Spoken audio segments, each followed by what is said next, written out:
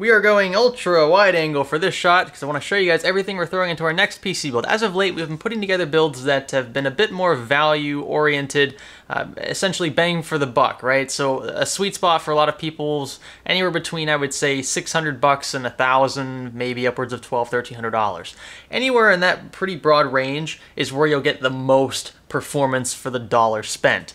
In this case, however, we don't care about budget. I have no idea how much all of these parts cost combined. It's going to be on screen somewhere. Uh, these parts were all sent for different projects, and I decided to throw a lot of them together uh, into this build video here. So if you want among the best of the best when it comes to a consumer-grade gaming PC, you might want to follow along. Corsair's HydroX series custom water cooling suite is fitted with everything you need to build something like this. Start with a configurator, plan your loop, and choose from stylish water blocks to clean fittings, copper rads to durable coolants. You can find it all from Corsair via the link below. I want to run through the parts very quickly. I know you can check all these out in the video description if you're interested, but uh, just to kind of rationalize my uh, part choices here, the Ryzen 7 3800X was kind of a no-brainer. You could go with the 3700X. Actually, that would be a more reasonable choice because you're going to save about uh, 60 to 80 bucks, and you're really not going to see much of a difference at all in game. Possibly higher boost frequencies with the 3800X, which is why we're going with that. Also, another reason is because the 3700X is currently being used in another system, so we have that one there. I don't recommend Ryzen 9. We could have used that, and that would have been potentially an overkill gaming system. You're not going to see a huge difference, if any difference at all, between 8 cores and 12 cores for again, most if not all games out there. Uh, so if you're gonna go for just a purely like killer gaming system, Ryzen 7 Zen 2 is the sweet spot right now. You could of course go with the 9900K or the 9700K from Intel, but Ryzen right now packs the value for the money, and we're not gonna make I mean, we're not going to make stupid choices with the budget. I, I know I said that budget really wasn't a concern here, but uh, you know, push comes to shove. Am I going to buy a $300 processor or a $450 processor if they're pretty much neck and neck with each other in a lot of games?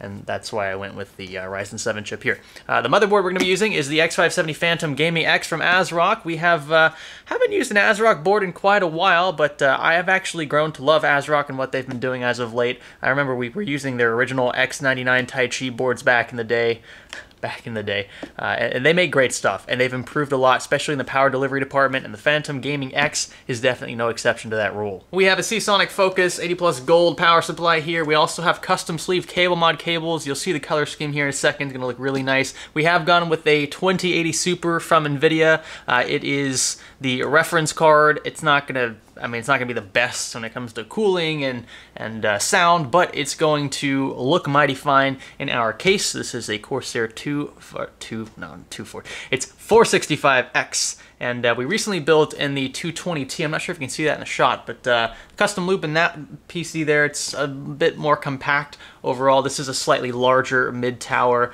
so I expect we can fit a bit more stuff in here and uh, yeah, just be a little more roomy. And then we lastly have a H150i Pro, and this will be the cooling solution for our Ryzen 7 3800X. I think uh, 360 IO is probably a, a bit overkill. Um, Ryzen tends to run a bit hot nowadays, but uh, you could get by with uh, even like a Hyper 212 if you really wanted.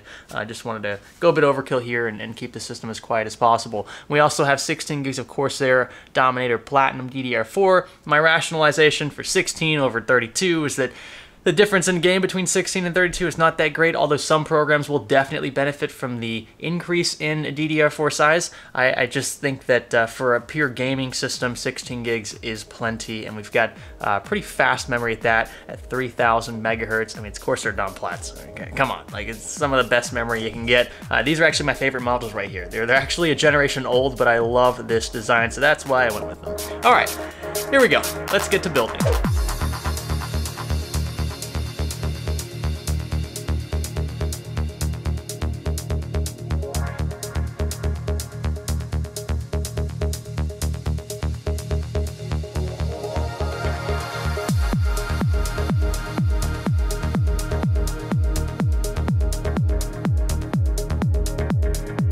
Oh, hold up, one second, sorry about that. Phantom Gaming X isn't gonna work. The reason why, red accents. I'm gonna be picky. This is a build that's gonna cost over two grand. Our custom sleeve cables from CableMod are neon green, light green. I figured that would look great with the RTX graphics card. So um, yeah, I don't want this to be a Christmas themed build, not that time of the year yet. I'm gonna scrap this solely on the color scheme alone. In fact, The power delivery on the Phantom Gaming X, I believe, is identical to the Taichi's. And the Taichi has uh, gold accents, well, really only over the chipset. Everywhere else it's silver and black. That'll look much better with the neon green. We're also using silver DDR4, so I figured that would look pretty great. And uh, yeah, I, have never been wronged by a Taichi board before, going back as early as X99 Taichi. So um, ASRock did a great job here. Again, I think the power delivery is the same, even if it's not. I'm sure this will be a consistent board. And uh, so I'll link this one instead of the Phantom Gaming X down below if you are interested.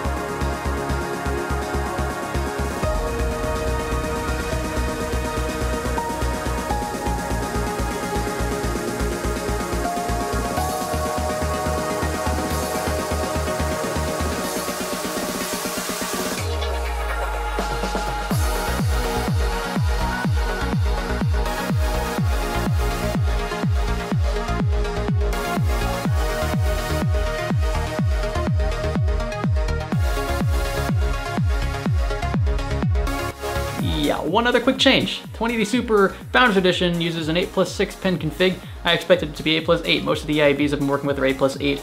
I didn't expect NVIDIA to cap off the extra 2 pins on the end either, which I think is a little weird, so it's not like I can even jimmy two 8 pins into the, uh, into the ports here, but not to worry, we've got an even better card. The 2080 Super was going to be, I, I, I, would say, the, the better buy for most people was just going to be better bang for the buck, even though it's still really expensive, and I don't generally recommend it for most people.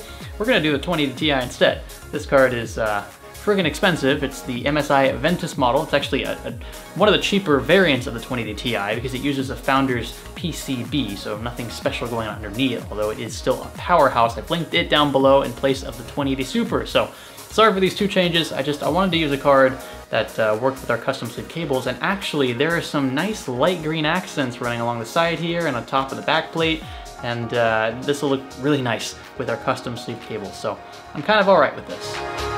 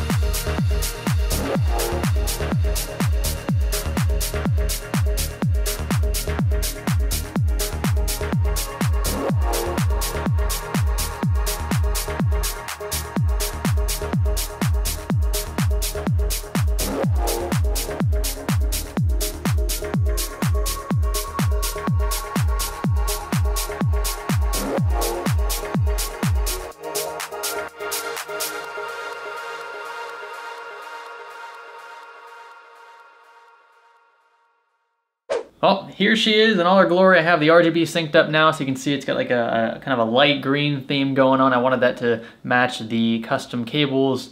It just, I, am a big fan of this. I really think this is a system that I'm going to use for quite a while. I actually didn't tell you guys this earlier, but this is going to be my personal editing rig and uh, gaming rig for yeah, for the foreseeable future. I wanted to, to push totally to Ryzen for a good while and uh, test out DaVinci Resolve as well, which is a program I've been meaning to switch to permanently for quite a while because I am extremely frustrated with Adobe Premiere Pro. If you guys don't like this build, let me know why. Let me know what you would change about it. Again, the budget really wasn't something I was trying to adhere to here. I just wanted to throw together a very powerful system. This is one of the most powerful systems you can build currently, and uh, I'm excited to actually use it. I've been using a 1070 Ti for so long. I have plenty of 2080s, 2070s, and whatever in the closet, but 1070 Ti has been great for what I do. Uh, I want to see how the 2080 Ti is utilized by DaVinci Resolve. So I will follow up in a video, I'm sure in a few months, letting you guys know how this system has been treating me, but uh, I thought it was time to jump ship uh, and uh, say goodbye to that 9900K. Speaking of which, that system is over there, and I'm probably gonna do a follow-up video on that one here soon because the cooler there is just not good enough. Quad, uh, H7 Quad Lumi from CryoRig is just not powerful enough. Uh, well, I shouldn't say that. It's not a big enough cooler, not a beefy enough cooler to uh, keep those temps in check. So we're to be upgrading the cooler uh, in a future video. Again, thanks for watching. If you guys like this video, thumbs up, click that red subscribe button. Stay tuned for more content like this. This is Science Studio. Thanks for building with us.